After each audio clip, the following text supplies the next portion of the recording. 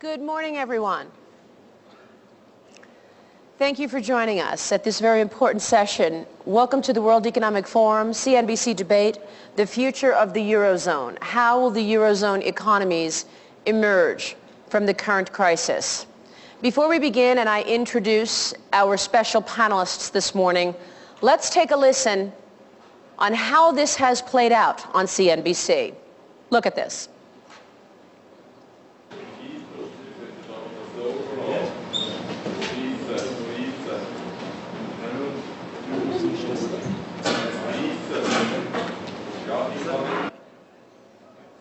Yes. We are going to be showing you some clips right now of some business leaders and heads of state who have discussed the happenings in Europe over the last six months and the preceding two years. We want to get their take on what has occurred in the preceding two years and where are we today. After you hear from these distinguished people having spoken about the events in the Eurozone, we will hear from our distinguished panel on where we are today. Once again, take a listen.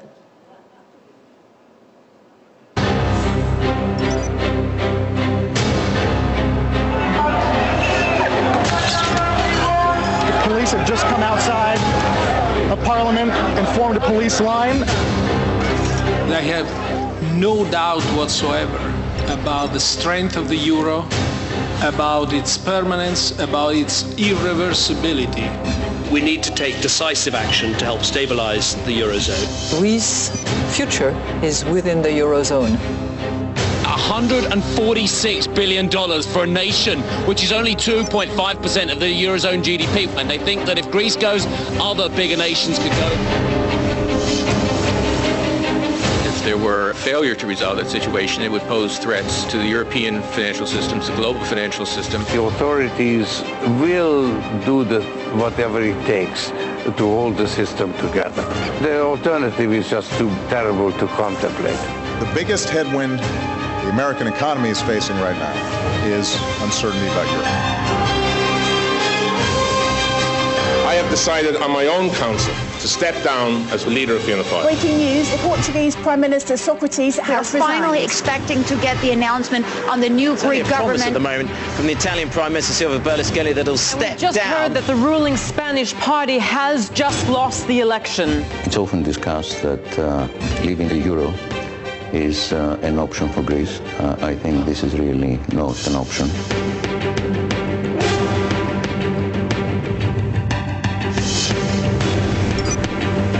What I think is needed is to extract more in terms of overall productivity and competitiveness of Europe by finally creating a really, a deeply single market. We must all draw the lessons uh, from the ongoing crisis uh, and uh, help to solve it. uh, and this goes for the financial sector as well. ECB is the only really functioning European institution, whether they like it or not. Gaining credibility is a long and laborious process. Maintaining is a permanent challenge. But losing credibility can happen very, very quickly.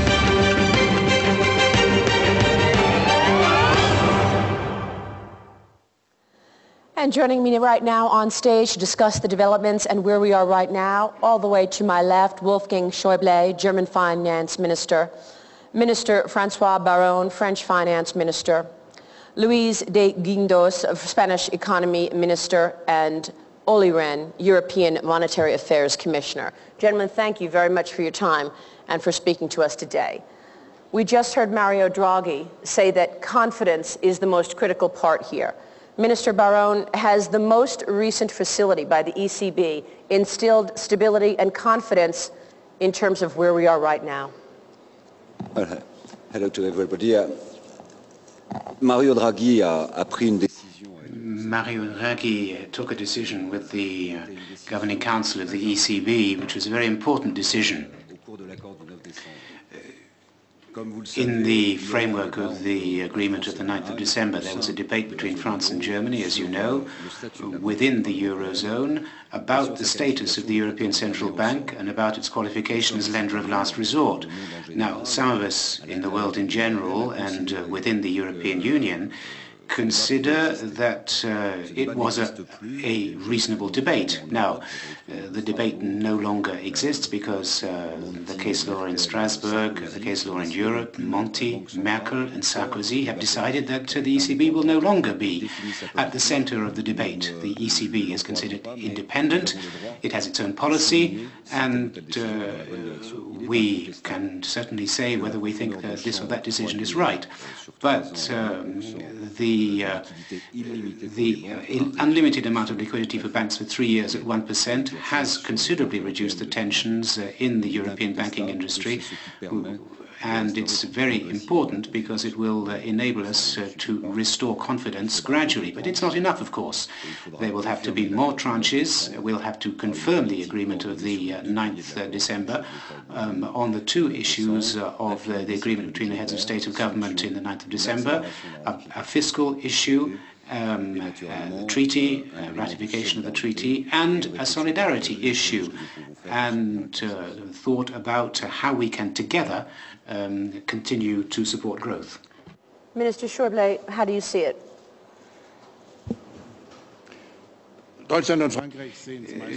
German and France uh, see it basically in a very same way. The cause of the crisis is basically the fact uh, that uh, there has been a lack of uh, fiscal discipline in a number of countries in the Eurozone and uh, a lack of competitiveness uh, of a number of countries. If we want to overcome the crisis, if we want to restore the confidence which has been lost, as Mario Draghi has just said in this clip, then what we have to do is first of all to fight against the causes of the crisis. In other words, uh, that's something that has to be done in the relevant countries. And that is happening, and where it's happening, uh, the uh, developments on the markets uh, are positive. That's the case in Italy, that's the case in Spain. We're seeing that uh, confidence is gradually being restored. Second thing is that uh, we need uh, a better structure for the European currency. This is what this is what we're doing with the fiscal compact and with the European Stability Mechanism.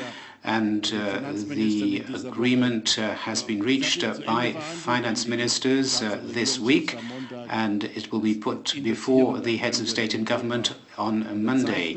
And we hope that we can sign it in February, and uh, we shall be able to bring it into force very soon and we hope that uh, we can quickly uh, pay in capital to it. And the fiscal compact will do something which we haven't had enough of so far, which is institutions and rules which make it possible for us uh, to uh, agree on a common fiscal policy in Europe. And then, of course, we must also strengthen the competitiveness of European countries, and that is uh, the uh, task that the European Council will have on its agenda next Monday. And of course, these things uh, don't happen overnight. And uh, while these things are happening, we need solidarity. This is the solidarity mechanism. This is something uh, which uh, the ECB is doing in its independence, uh, of course, but it's uh, doing what is necessary. And we have we must make sure that we don't set the wrong signals, the wrong incentives. we mustn't prevent things that must happen from happening first. And but if we all act together, then we're on the right track, and we shall do everything we need to do, and uh, the Europe and uh, the European Union uh, will have a stable currency. And if uh, we have, we'll be able to uh, deal with uh, the debt problems in other parts of the world, which are bigger than they are in the Eurozone. We will get back to the comment you made. we must prevent things from happening because I think that we all would like to know uh, specifically uh, more, more on that comment. But, but Minister Guindos, uh, from your standpoint, uh, how do you achieve what Minister Schäuble is saying in terms of solidarity, uh, solidarity rather, and unity? Well, I am in broad agreement with what uh, Francois Wolfgang uh, have said uh, about, uh, you know, liquidity. Liquidity is not the final cure uh, to the problems that we have right now in the Eurozone. It's a helping hand, but not a final cure. But I think that I fully agree also that uh, what we have to do is to, first of all, to put our houses in order, to advance in fiscal consolidation, to avoid uh, and to circumvent the problems that we made in the past in terms of, uh, you know, public deficit and excessive level of debt. And simultaneously, uh, and I think that this is going to be uh, in the agenda over the next uh, months and weeks, to try to take the measures to foster growth. And I think that, uh, you know, we are, we are going to, to, speak more and more about growth and employment. And I think that, you know, that will be, you know, the agenda of the next weeks. We are very close uh, to have a new institutional framework that I think that will be extremely useful to avoid the mistakes and the flaws that we had in the past.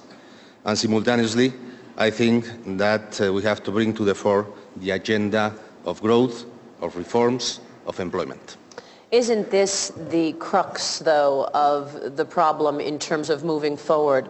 Olli Rehn, how do you achieve growth in a moment of time when you actually are implementing austerity? That is indeed uh, the key question for, for Europe uh, at this uh, juncture. And uh, in order to create uh, foundations for uh, sustainable growth and job creation, we first have to resolve the sovereign debt crisis and mitigate the banking sector fragilities. Why so? Because this is essentially a crisis of uh, confidence and uh, in order to resolve uh, this crisis of confidence we have to do things like the European Central Bank has been doing. I find uh, the ECB actions uh, very important uh, in terms of avoiding a credit crunch in the European economy and also facilitating some more favorable bond auctions of, say, Italy, Spain and also the return of uh, Ireland uh, to the bond market uh, in the last couple of days. So the ECB actions are important, but of course not enough alone, and uh, therefore we need to have uh, a focus on uh, basically three things. we need a new fiscal compact, and we are in fact revamping the institutional architecture of Europe so that we are soon going to have uh, an economic and monetary union Mark II. It is going to be a very different uh, structure than, uh, than uh, the previous one. And in the new structure, prevention is the name of the game. And uh, we want to prevent uh, the kind of uh, fiscal crisis uh, or external imbalances uh, that have happened in the past years with terrible costs, economic and human costs. Second, uh, we need uh, stronger European financial firewalls, uh, and we are working this out in these weeks, and I expect that we can come to a positive conclusion where we also need uh, support from our American and uh, British friends uh, in a sense that we need to increase the resources of the International Monetary Fund. and third, yes, we need a focus on uh, reforms uh, and uh, growth, employment, as Luis and his colleagues were saying. And in this regard, I would draw your attention to the fact that we have in fact a wave of reforms uh, going on in Europe. Italy is moving fast uh, in its uh, structural reforms.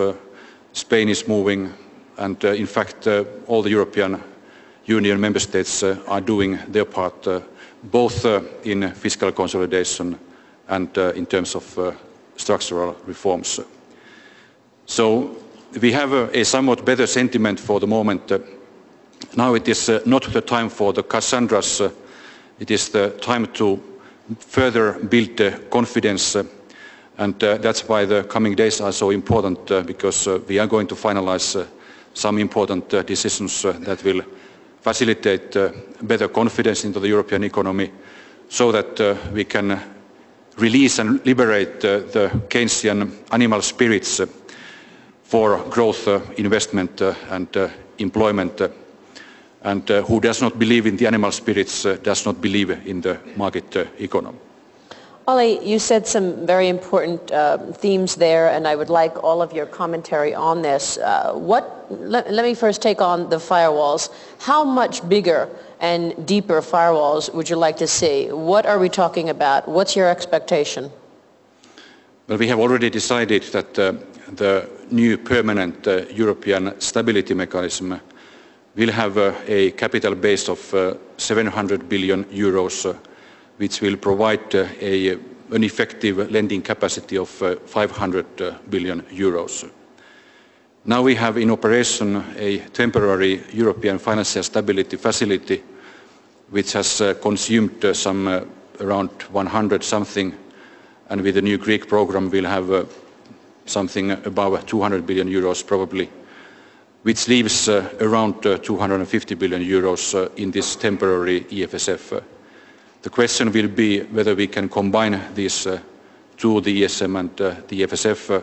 That's something that the ministers and the leaders of the Eurozone will have to discuss and decide in the coming weeks. In parallel with the IMF, where Christine Lagarde has made a request uh, for an increase of uh, 500 billion euros. The Eurozone has uh, committed already 150 billion euros. So you can calculate uh, in which ballpark, uh, in which uh, range of hundreds of billions we are talking about when we talk about reinforced financial firewalls for the sake of safeguarding financial stability in Europe. Minister Schäuble, Chancellor Merkel has made some bold statements about the long term and what needs to be done over the long term. But as we sit here today, the short term seems quite critical as we await a decision between Greece and its creditors. What is the plan over the short term? First remark is uh, you never must do the opposite in the short term. You have to do it in the long term because if you want to regain credibility, you have to do the same in the same direction, in the short term and the long term. That is one of the critical issues, and therefore uh, uh, we are working on fighting the, the, the, reasons of the crisis, and uh, we will uh, uh, we have uh, do what is needed, and we will decide what will be needed to, to, to buy the necessary time we need to. In the short term, we are negotiating with Greece. Greece is a very specific case. You can't uh, uh, uh, take any, uh, any consequence for any other member states in the euro. It's totally different. It's a very specific case in Greece. We need a reduction of the deaths, and it has been approved that uh, the Greece uh, has to be reduced by the private sectors in 50 percent and uh, we, we are negotiating the final negotiations, and we were very clear on Monday in the Eurogroup that it, uh, uh, we need for a new program for Greece a debt sustainability, and that means the overall debt in Greece not over 120% GDP in 2020. That has to be achieved. It's not easy, but it's possible and it will be done in the coming days. I, am quite, quite optimistic. Then we need a new program in Greece.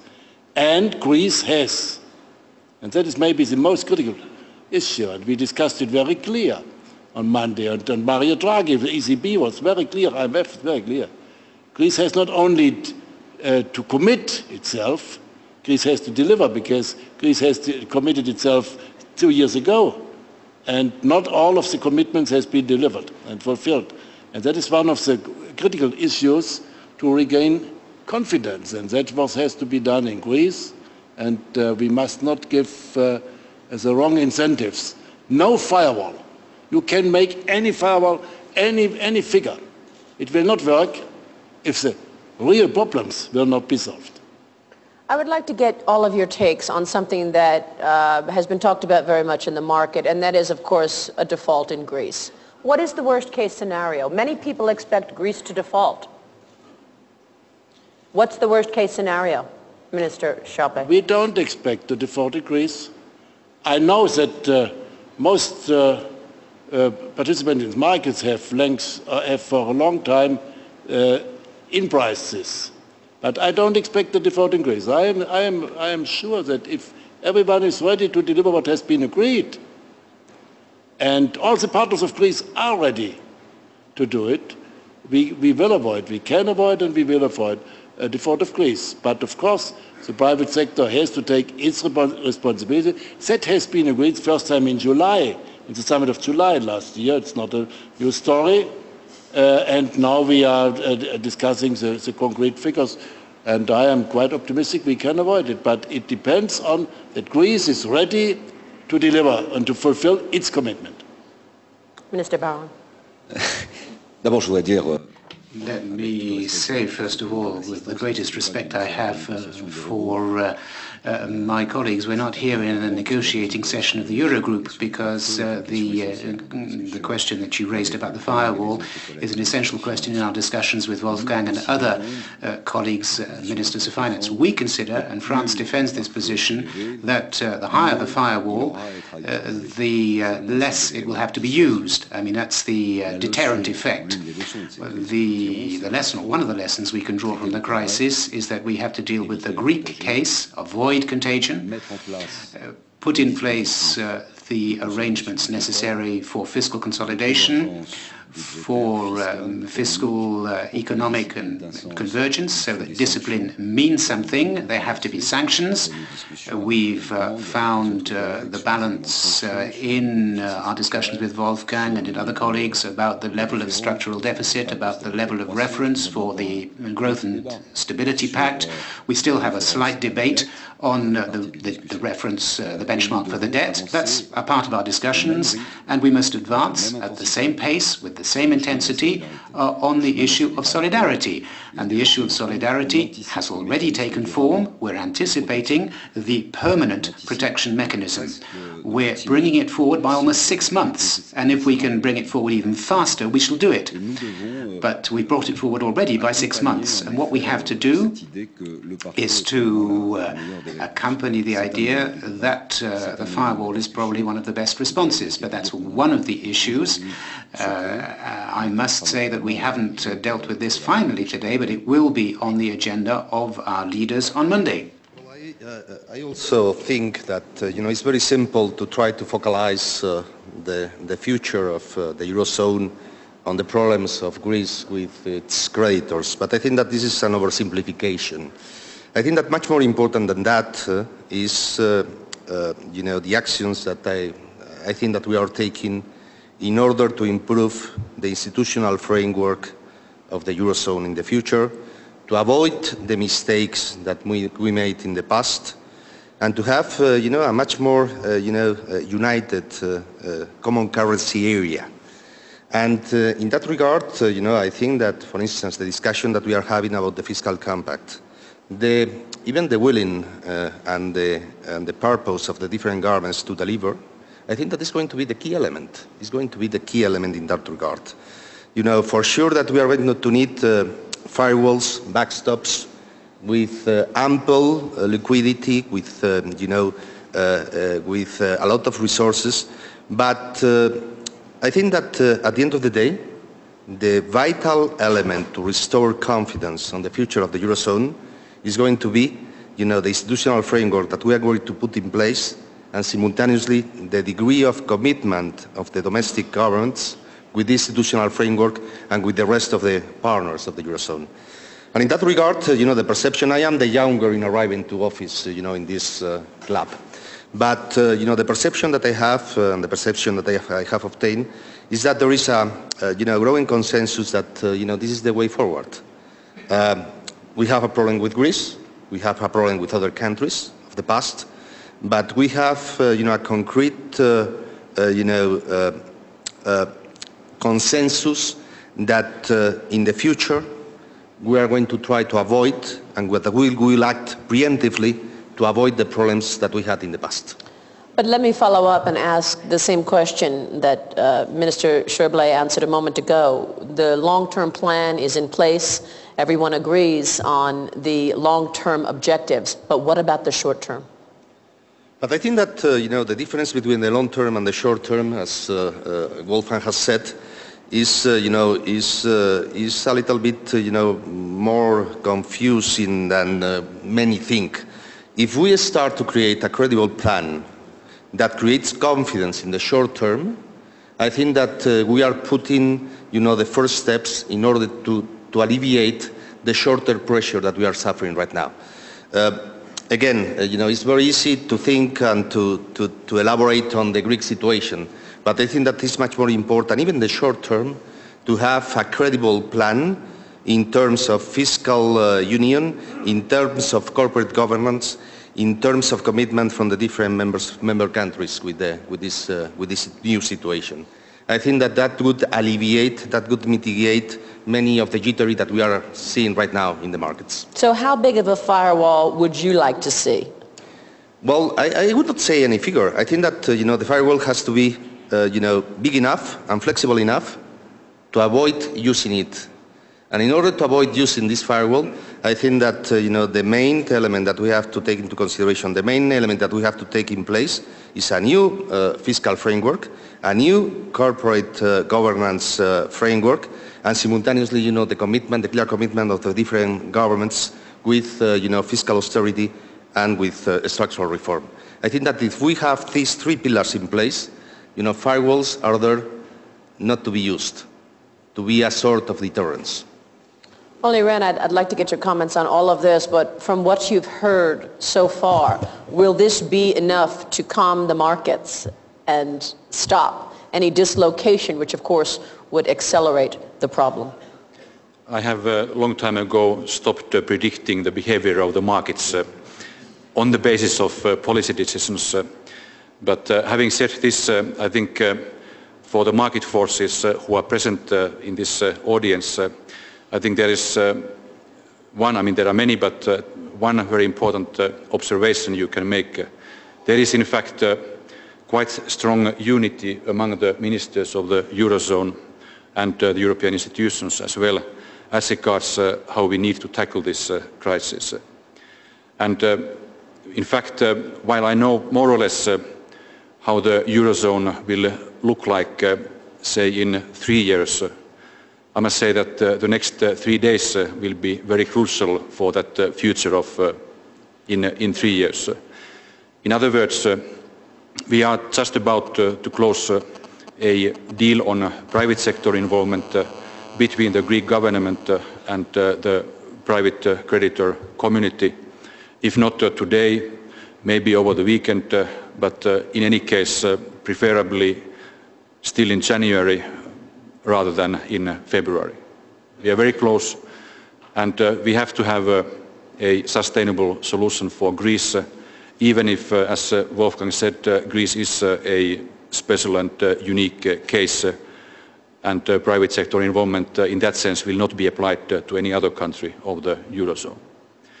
And then we have two very important uh, decisions uh, related to this uh, basic uh, fair deal between uh, reinforced uh, fiscal discipline on the one hand uh, and uh, reinforced uh, financial firewalls uh, on the other hand. The treaty on a new fiscal compact uh, will be finalized uh, on Monday, which will help uh, create uh, a much uh, sturdier framework uh, of uh, the Eurozone economic governance. And uh, then in parallel, uh, the treaty on uh, European stability mechanism will be concluded. This will be a very important uh, three-day period uh, for reinforcing confidence uh, into the Eurozone, and I'm sure that we will succeed in these decisions, and I hope, of course, that it will have a, a positive confidence-building impact on the market sentiment. Let's talk about some of the ideas out there. Minister Schäuble, talk to us about the possibility of a Eurobond. Do we need a Eurobond? Mario Monti backed the idea before becoming prime minister. Who pays and what are the terms?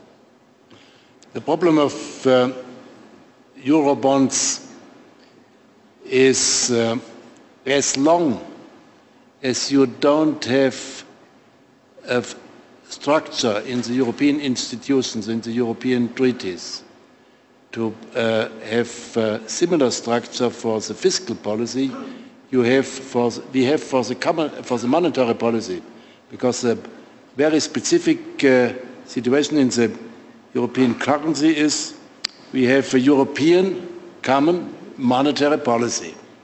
No member state has sovereignty on in, in, in monetary policy. That is very specific. It's uh, difficult to understand if you are abroad from Europe. But in Europe, you, we gave up parts of national sovereignty to the European institutions. In the monetary policies, a, a European uh, monetary policy. We have a national fiscal policy, and that makes the problem. As long as we have not something like we are now doing, a fiscal union, to have a similar construction for fiscal discipline, as long common bonds gave the wrong incentives because you may uh, you, you, uh, you, you spend money you don't have on the bill of, of, of others and that is uh, a wrong incentive in, in, in a functioning um, uh, uh, um, market economy. Uh, at the end you have to pay your bills. If you spend on the on, on the risk of others Uh, it's a temptation everyone will fail in avoiding such a temptation uh, and therefore uh, we have to concentrate on building the, the, the structure for, uh, for fiscal and, and even for better competitiveness in the fiscal union. We, we, knew when we, when we created the European currency, we knew that we will build, we have to build in the, in the coming years in, something like a political union. It's a, it's a, the European integration is always, has always been a method going step by step if you want uh, to start with 100%, you would never have achieved one step in European interest. If you, if you go step by step, what we did since the early 50s, we, were, uh, we, were, we have been, uh, in, in the long run, we have been tremendously successful. And we will, we will be in the future successful. I'm quite convinced. I'm, I'm convinced that it is on the long term the better way of building something like international or global governance in going step by step in building such structures and not uh, the other ways. But as long as we have, we must not give the wrong incentives and therefore uh, that would be, that would be sent the wrong, the wrong message in fighting the real causes of the given crisis. Olli Rehn. I would uh, tend to agree with uh, Wolfgang and uh, in my view, in fact, uh, for any serious move concerning uh, some kind of uh, Eurobonds the necessary condition is a substantial reinforcement of economic governance of the European Union to create an ever closer economic or stability union. In fact, uh, I want to give you one example how this works uh, because it is uh, already moving forward. Uh, we talk about uh, the new fiscal compact uh, next Monday. That's important as a very profound political commitment of the national parliaments but at the same time, we have already existing secondary legislation which entered into force mid-December.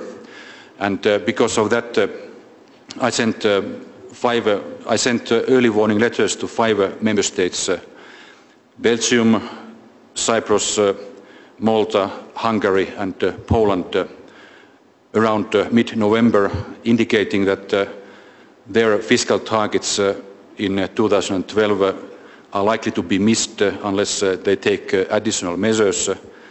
And if they do not take additional measures, uh, then we may have to resort uh, to financial sanctions, uh, i.e. fines for the Eurozone countries. What happened, four out of these five countries took action. Cyprus, twice just before Christmas, very difficult discussions in the parliament cutting its deficit from uh, above 5% uh, to around 2.5%. Uh, Belgium, after difficult discussions uh, in the coalition government, uh, coming down from 4.5% uh, to 2.7, 2.8% of fiscal deficit. You see that this six-pack, as we call this new legislation, the six-pack is already working and delivering and we will further reinforce this uh, once we get uh, the new treaty on fiscal compact uh, in force. One final comment on this. I find the German Council of Economic Advisers proposal on a debt redemption pact or debt redemption fund as uh, very smart uh, and uh, potentially doable, which uh, is certainly worth exploring further. It has some resemblance uh, to the American audience, uh, some resemblance to the events in the United States of America around 1790, when uh, the first uh, Treasury Secretary of the US, uh, Alexander Hamilton, pushed through the assumption of the state debt following the Revolutionary War and created what we could call Eurobonds uh, in the United States of America, which, by the way, became the foundation of the federal economic uh, government uh, for the United States of America.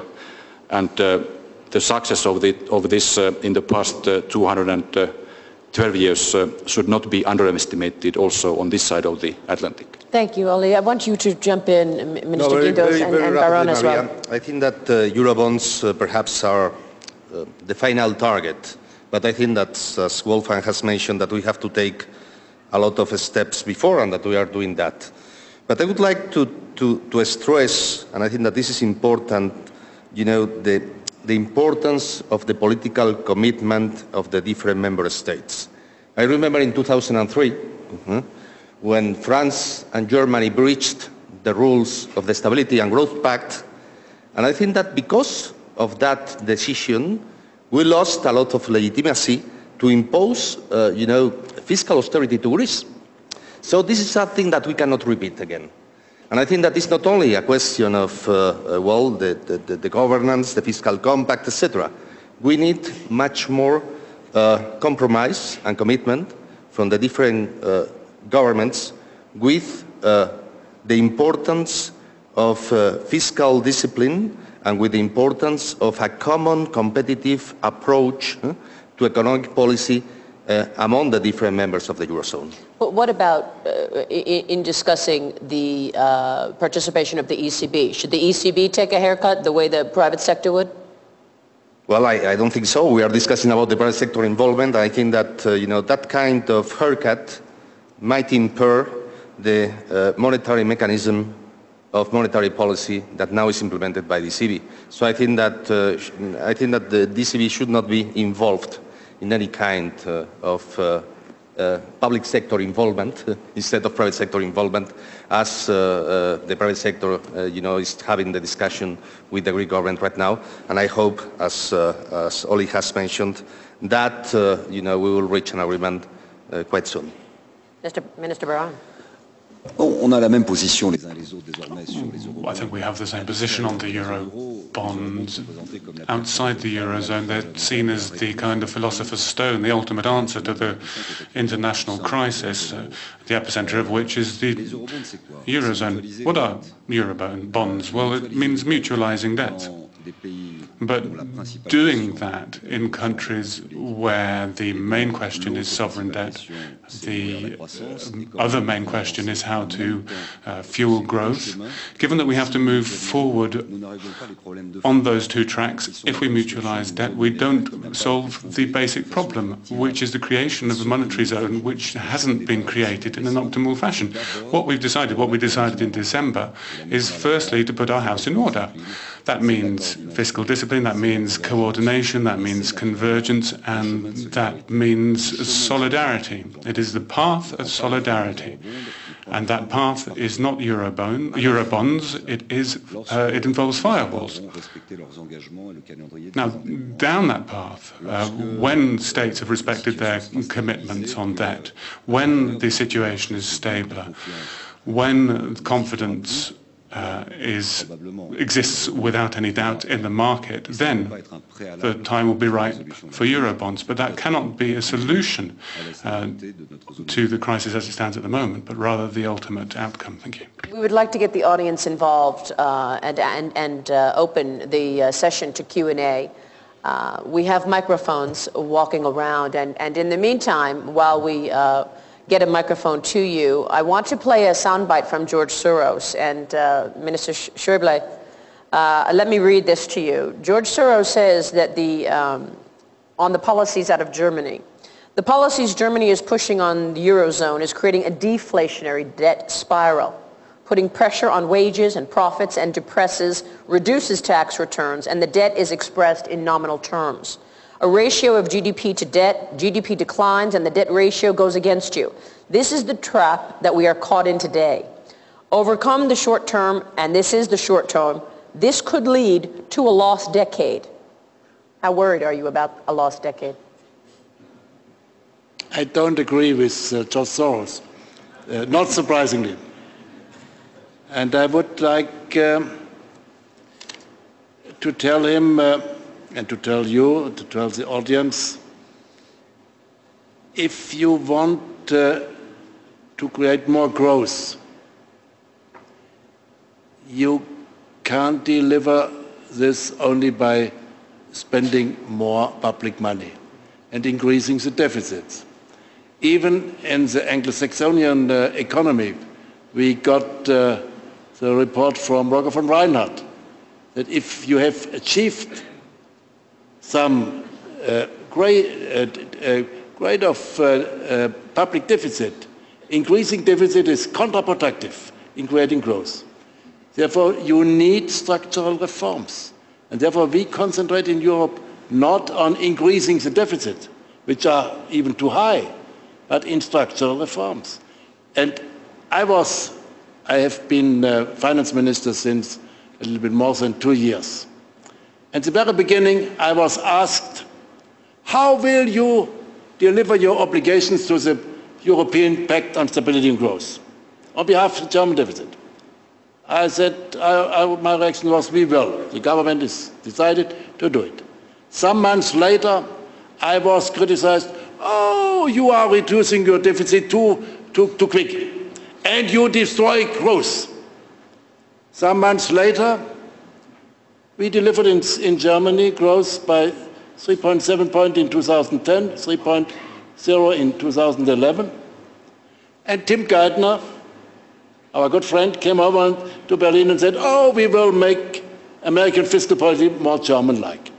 Because in, in Germany, I don't know how it, how it works in the United States. In Germany, and I think in Europe it's clear, if you want to have more internal demand for investment and for consum consumption, you have to deliver some confidence. If you reduce your deficit, if you make your your deficit sustainable. In Germany, it works. People regain confidence and then they spend. The actual figures, the actual figures of uh, private consumption in Germany are, are very, very sufficient, and therefore the German uh, uh, uh, economic outlook is driven by, by the internal demand, and we can destroy it in increasing the deficit, and we can support it, and therefore we have to go for structural yeah. reforms and that is a better way, and uh, I think it will be. We have, we have two quick comments here from Minister Guindos and then Olli Rehn, and we have a question then following. No, just uh, a short remark. Uh, I come from the country that put in place the largest fiscal uh, stimulus uh, uh, in the Eurozone, from a surplus of 2% in 2007 to a deficit of 11% two years later. And uh, in Spain, simultaneously to this fiscal stimulus, we had the largest deterioration of the labor market that we have ever seen. So I think that we should be careful huh, in, in, in, in, considering, you know, the, the, the, the, implications that, uh, you know, a fiscal expansion has on the economy. Because now in Spain we are having difficulties from the financial standpoint because, uh, well, this fiscal stimulus was, was mistaken. So I think that is much more important in order to create confidence, as Wolf has mentioned, to put your fiscal accounts on a sustainable path and simultaneously implementing uh, an aggressive and ample agenda of structural reforms. Olli Rehn. I would like to bring uh, briefly a global and uh, long-term view on this uh, discussion. In fact, uh, inspired by Jean-Claude Trichet's uh, wise words in one of the yesterday's uh, discussions, uh, if you look at the previous decades and the crises in previous decades, we have the cases of Latin America in, in the 1980s, uh, since 1982. Then we have the Asian crisis in the 1990s, and we have, uh, in fact, uh, the cases of several European countries in the 1990s. Uh, what has been the lesson in all these cases? they have taken structural reforms and reinforced uh, the sustainability of their public finances uh, as the foundation of uh, solid and sustainable economic growth. And as a result, Latin America overall, look at Brazil, rather resilient uh, even, even in the current uh, global difficulties, uh, financial crisis. Asia, the same story, much more resilient in the current financial crisis. And in Europe, if you look at the countries uh, who went through a similar kind of experience, uh, they are now more resilient. Uh, in the 1980s, the Netherlands and Denmark, 30 years ago, sorry to say to my Danish friends, but Denmark was almost a basket case of Europe. Now it is a very resilient and one of the model economies in Europe.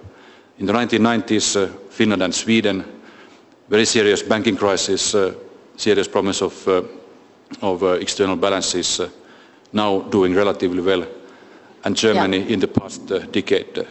I think this is an encouraging example of the importance uh, and uh, success of uh, structural reforms in Europe and globally. We have to get two questions in here on the second row, and then I have Minister Baroin with a, with a comment. First here in the second row, and then I'm coming in the back. Thank you. It's Luigi Buttiglione from Brevan Howard Asset Management. I want to take advantage of the joint presence of the Spanish Economic Minister and of Commissioner Rehn to ask uh, them a question also leveraging on what they just uh, commented today. I see the, the Spanish uh, minister said that he basically wants to do all he, he want, all he can to keep his house in order. And I also hear from Commissioner Rehn that he sent five letters in the past to countries which were deviating. Now, unfortunately, uh, you know, we need, we speak about reassurance, uh, confidence in the market, but we as market participants would like to know, for instance, from the Spanish economic minister, uh, what they are going to do to put their house in order this year. As we know, on the last day of last year, there was a, a substantial overshooting of their deficit. And now we are hearing some comments which uh, we, are not, we don't find very assuring uh, concerning the, the, the, meeting of their targets uh, of 4.4% of GDP this year. I wanted to know, uh, please, if you can reassure us that this, this target will be strict, uh, strictly uh, met, and what is your opinion also, Commissioner Rehn, if this target should be met or, or it should not, or because the, yes. the economic condition deteriorated, it should not. Thank Min you. Minister, briefly, please. Well, uh, it's totally, totally right that, uh, you know, well, the new government of Spain uh, arrived, arrived in office on December the 23rd, and on December the 26th, learned that uh, we had a slippage in the public accounts of uh, two full per percentage points of GDP. And three days after, took action to reduce uh, and to rein in the public deficit uh, by 1.5% of GDP, even increasing, increasing, increasing uh, uh, the taxes, the tax, the tax on personal revenues. Simultaneously, today, the Spanish cabinet is taking an action to control and to impose much more transparency on the regions that is uh, generally regarded as one of the main sources of the deviation that you have mentioned before. So we will have much more commitment, much more compromise from the regions in terms of, uh, uh, you know, of uh, public consolidation, of public account consolidation, and simultaneously, what I have to say is that the rule that we are going to have for the Spanish regions and for the Spanish central government is going to be even stricter than the rules set in Brussels for the rest of the for the members of the Eurozone. And finally, with respect to, uh, to uh, uh, you know, your, your comments on the, on the future of the path of fiscal consolidation, what I have to say is that, uh, you know, the, the, the strategy of the Spanish government is going to be based on a two-pillar approach. Fiscal consolidation is not an option. This is something that I've mentioned uh, a lot of times. But simultaneously, we have to pay a lot of attention, and I think that this is going to be vital to the banking industry uh, restructuring and to the labor market uh, reform. Spain is a country with an unemployment rate of 23% hmm, uh, of the labor force. This is something that we cannot, uh, we cannot accept at all. Mm. And I think that uh, you know, this is going to be you know, the vital element of stress and uh, of importance and, and, the main priority that in the agenda of the new government. And I expect that over the next weeks uh, the new government will put forward a reform of the banking industry and simultaneously an ample, profound and important reform of the labour market. How much capital does the, does the banking industry need?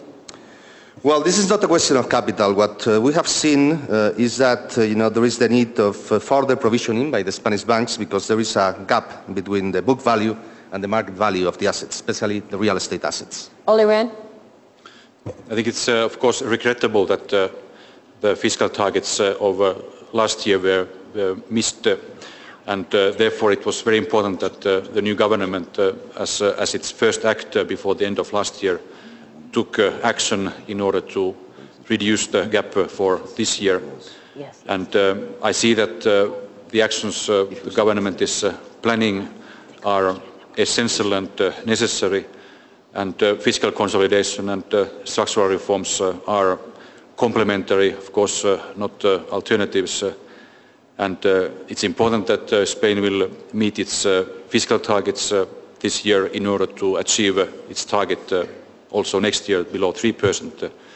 and at the same time, it's very important to maintain this strong momentum of structural reforms both in the banking sector, as Luis referred to, and also in the labour market in order to reform its institutions and its functioning because the unemployment of 23% uh, uh, and youth unemployment of 40-45% uh, is something that no society can for long sustain. Very quickly, Minister Baroin, you wanted to uh, address the debt concern as well as growth a moment ago. Please do. Ouais, just a very brief word uh, on this topic.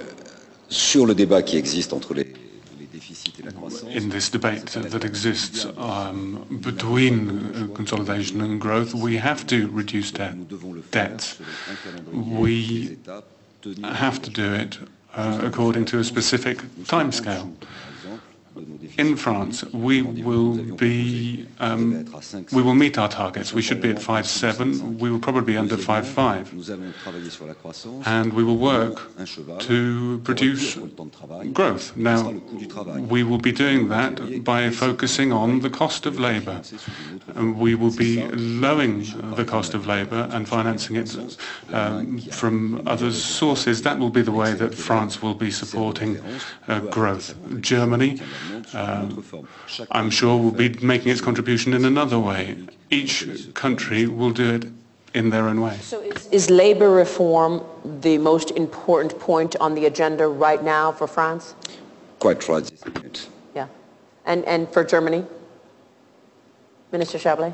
Uh, no, for Germany, I think our uh, most important thing is to uh, uh look that we have uh, innovations in infrastructure set in place because we have uh, increasing uh, uh hesitance in public opinion in uh, uh, investments in increasing the infrastructure for communication and so on. That has to be overcome. We have to discuss it. On a, we have to fight for new technologies because on behalf, on the basis of our demography, we have to know that we uh, have to uh, stick on innovation. Otherwise, we will not uh, be able in future to uh, stick to the relative uh, level of, of wealth and social stability we have in Germany. Uh, up to now, we are relatively successful, but we must not think that is granted for for the future. We have to stick on this. And therefore, it's an, it's a European matter. We, for example, we will work together for uh, something for, for youth employment, for youth training on a European level. It's quite important. We, we can have uh, a win-win uh, situation if we make an, a European market for training young young, young generation and something else. Minister, it seems like a luxury to be talking about investing in innovation at this very critical time in terms of deficits and austerity put in place. Now, look, we we have, uh, in reducing our deficit, we have increased uh, our, uh, our budget figures for, for science, for, for research. you have to concentrate. if you reducing deficit mean, does not mean you cut every expenditure. you have to look where, where are the investments for future, and therefore we, we did it, and we, we on to do so, and that, that's what we do in all European uh, member states and also European level, and that is in the, the, the real content of the European summit on Monday. We have a question in the back, please. Yes. Thank you very much. My name is Anna Maria Corazza Bildt. I'm a member of the European Parliament for Sweden. Last week, we have voted a very clear position, cross political groups, asking in the negotiation of the new treaty to take into consideration, one, the community approach, two, that everyone should sit around the table, 27 plus the President of the European Parliament, three, that European law is respected, which means that the treaty should work in the frame of the Lisbon Treaty.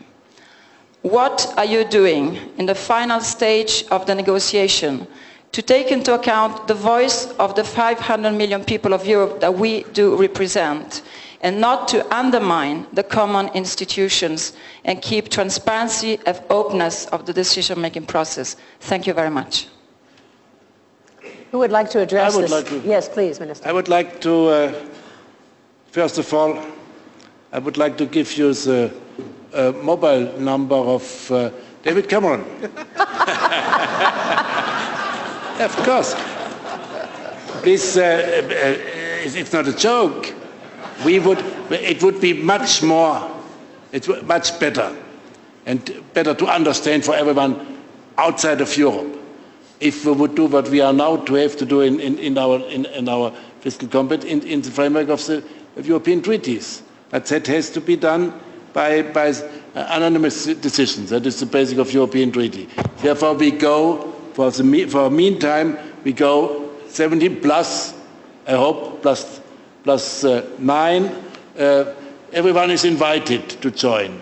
And of course, we will make, uh, we are in favor in the treaty to, to make who, everyone who signs the treaty uh, will take part in the decisions in the treaty. And we will invite the European Parliament to take responsibility. Of course, that is much easier on behalf of the treaties on the basis it would be introduced in the treaties. Therefore, on Monday, we agreed in the Eurogroup we will uh, in, be in favor to implement it in the treaty not only in five years but in three years. And that uh, I hope we can convince all our friends in the European Union. Olli, would you like to add to that? Well, in fact, uh, I think Wolfgang, uh, Wolfgang said the essential, but I want to add uh, one aspect, uh, and I can tell Anne-Marie that uh, the Commission, by and large, uh, sees uh, eye to eye with the Parliament uh, as regards uh, the reform of, uh, of uh, economic governance uh, and uh, this treaty as well.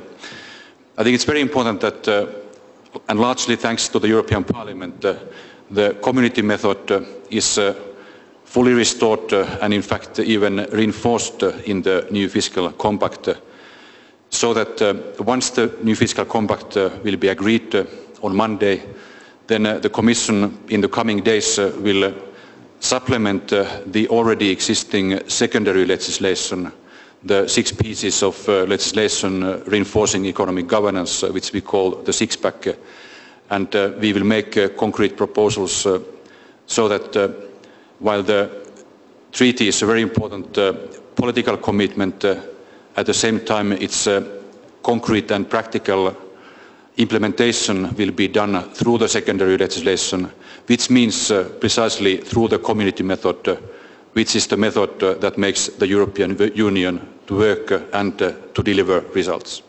We would like to take more questions, but we also want to keep you on time. So I'd like to thank this distinguished panel and thank you for joining us. Please stay tuned for the next session.